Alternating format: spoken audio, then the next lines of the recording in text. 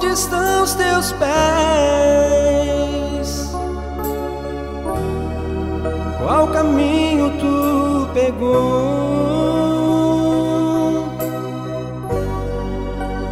O Senhor é reto. Seja crente de verdade. Santidade.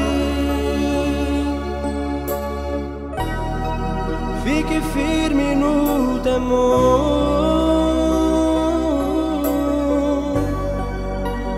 Guarde os mandamentos. Fique no monte do Senhor.